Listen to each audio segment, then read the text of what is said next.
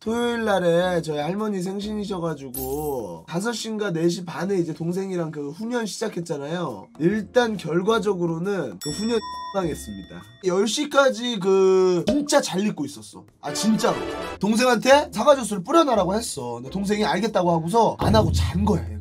갔다 왔는데 못 먹을 정도. 그래서 그거 다 버렸어요. 형수님이 회사에서 일하다가 트위치를 요만하게 켜놓고 뭐 이렇게 보고 있었는데 그게 너무 맛있어 보여가지고 나 뭐 해달라고 했었거든. 그래가지고 나 이제 형수님 먹이려고 그거 했었던 건데 그러고 나서 밥을 먹었어요. 그거 홀라당 5분 안에 먹고 3시 반인가 4시에 제가 잠들었습니다. 잠들었다 딱 깨니까 가족들 다 집에 가고 있어요. 그래서 아무것도 못 놀았어. 음.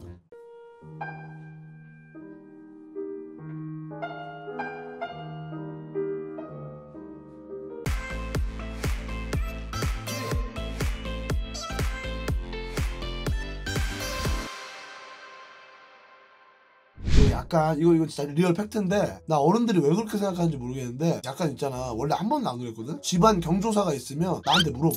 그러니까 내가 돈 벌기 시작했잖아. 그리고 이게 비교적 잘 벌어요. 형들 뭐, 뭐 비교할 건 아니지만 그리고 이거 엄마 아빠 잘못인데 엄마 아빠가 잘 벌고 있는 것도 맞는데 더 잘 벌어 보이게 만들었어. 내가 싱가폴 여행 보내주고 약간 이런 거. 아직도 카톡 부사 그거예요. 엄마 아빠 여행 보내주고. 이러면은 할머니는 왜 안 보내주냐? 이런 말 또 나오거든. 이게 또 대가족 입장에서는. 그래가지고 경조사 할머니 생신이야. 그러면은 이제 뭐 큰아빠 뭐 형들한테 막 연락 와야 요번에 뭐 할 거냐? 에?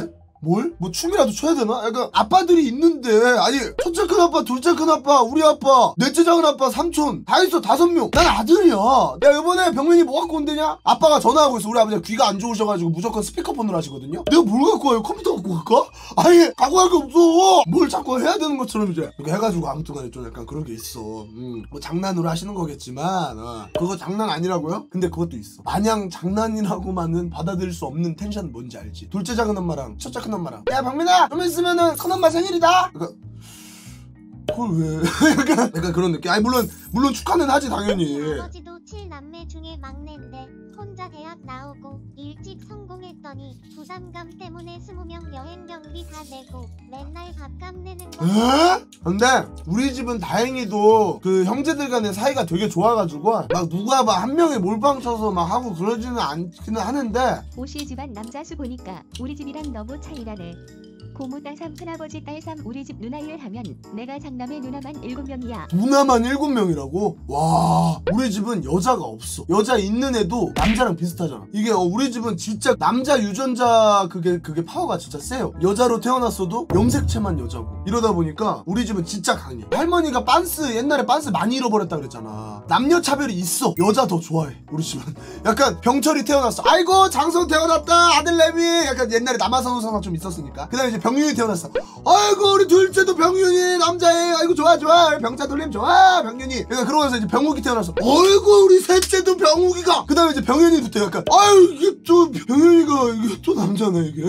네 명이 연달아 남자가 그 네 명이 아니에요. 아홉 명 연달아 남자야. 태록이 채록이 삼록이 복록이 임록이 다 남자 낳고 그 다음 병철이 병윤이 병욱이 병윤이 다 남자인 거야. 그러면 이제 그 다음 나야. 나 태어날 때 어땠겠어? 아이고 이게 씨, 또 고추네 이게 이렇게 된 거야 이게 난 태어날 때부터 환영받지 못했다니까 할머니가 야 이거 씨, 여자 좀 낳으라고 여자가 없어 이래. 그러고 나서 이제 혜미 혜미 낳고 이제 혜미 태어나고 그 진짜 강해요 어. 우리 외갓집도 보니까 진짜 좀 그런 게 아직도 남녀 밥상대로 있고 삼남 일녀 엄마가 맞이인데 엄마한테 재산 분할 안 되는 분위기길래 나까지 가세해서 멸망전 하는 중 아, 나리 말리겠다. 야, 이거 좀 웃겨, 근데. 저희 집도 그렇거든요? 이 정도까지는 아닌데, 저희 집은 밥 먹는 게 따로 있었어. 어머니들은 막 그거 하고, 뭐 아버지들 벌초한다고 하긴 하는데, 저는 미리 갔다 오는 거라서 체감이 그렇게 안 돼. 무슨 느낌인지 알지? 어머니들이 이제 요리하고 있으면은, 먹고, 막 이렇게 약간 이런 게 좀 아직 남아 있어, 우리 집에. 근데 요번에 없어졌잖아. 왠 줄 알아? 우리 저기 형수님 때문에.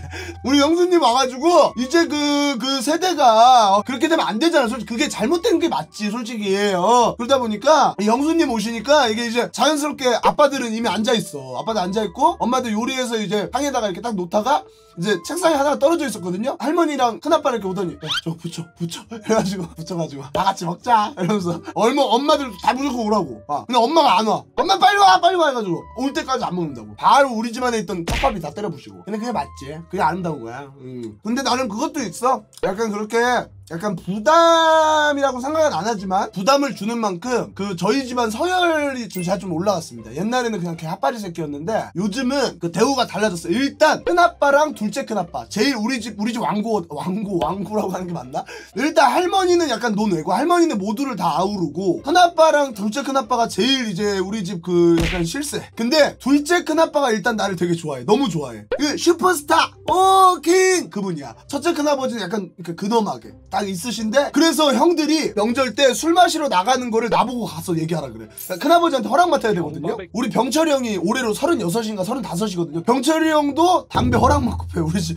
아 근데 우리 집그좀 민감하긴 해. 어 왜냐면은 그 할아버지가 이제 그 담배 때문에 폐가 안 좋아져서 또 이렇게 되시기도 했고 어 그래가지고 우리 집이 좀 많이 민감하긴 한데 그리고 술도 할머니가 진짜 안 좋아하셔. 할머니가 옛날에 이제 고생을 많이 하셔가지고 그래서 술 담배를 되게 안 좋아해. 그래가지고 이제 뭐야 술 마시러 갈 때 허락을 맡아야 된단 말이야. 야, 제사는 지내지. 제사 지내면서 이렇게 그 술 이렇게 하고 하는데 사실 제사도 많이 간소화됐어요. 약간 할아버지 계실 때는 다 서가지고 한 명씩 차례대로 막 뭐 잔 돌리고 막 이렇게 해야 되는데 이제 할아버지 이제 안 계시고 이제 할머니 계시고 이제 큰아버지 이렇게 있으면은 팩트는 뭐냐면 제사에 대해서 잘 알고 있는 사람이 일단 없어. 제사에 대해서 정확히 알고 있는 사람이 이렇게 딱히 없다 보니까 대략적인 절차만 알아. 이렇게 해가지고 큰아빠 이러고 서 있다가 둘째 둘째 큰아빠가 이렇게 딱 잔 돌리고 형 그 다음 뭐예요? 그럼 큰아빠 이러고 이러고 가만히 섰다가 야 결국에는 누구한테 물어보는 줄 알아? 혜린이한테 물어봐. 혜린이가 검색해 이제. 큰아버지 저거 저거 그 쓰는 거 거꾸로 놨는데요? 그러면 야 빨리 빨리 돌려 조상님들 거꾸로 매달려 있다고 지금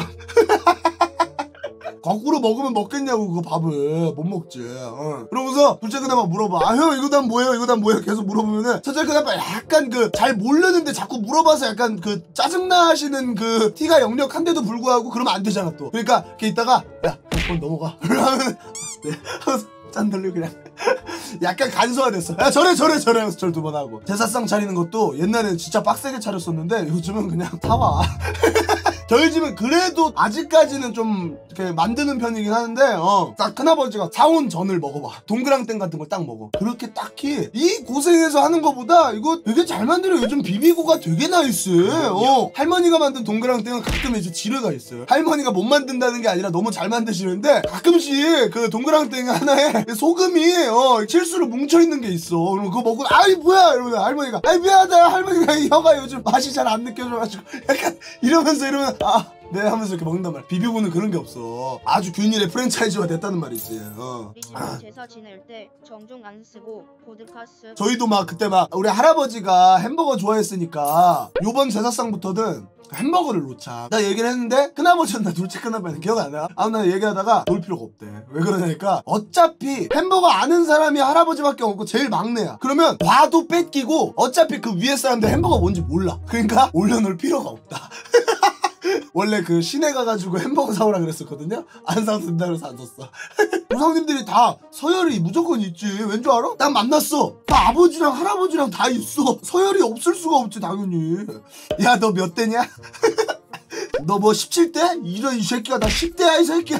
약간 이러면 이제 할 말 없어.